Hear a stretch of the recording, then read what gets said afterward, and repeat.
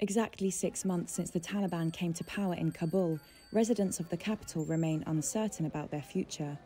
A combination of a lack of jobs, assets that remain frozen, as well as an increase in hunger and poverty. Central bank funds have been frozen since the Taliban took over as foreign forces withdrew in August. And this, combined with sanctions and a drop off in development funding, have sent the country's economy into freefall, unleashing a humanitarian crisis with it. Gawhar Khan and Abdul Saber both reside in the capital. The difference in these six months since the Taliban seized power is that there's no work at all. Everything item wise is plentiful, but no jobs.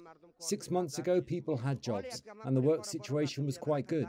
But now poverty and hunger have increased. As I foresee in the future, if the world recognizes the Islamic Emirates government and unfreezes our money and assets, we will have a better and brighter future. Otherwise, we may have a miserable outlook.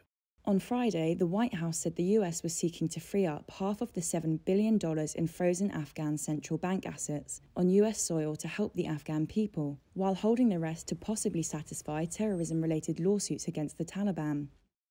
Afghanistan's central bank criticised the plan, calling it an injustice. The Taliban warned it would reconsider its policy towards the US if President Biden did not reverse his decision to return only half the amount.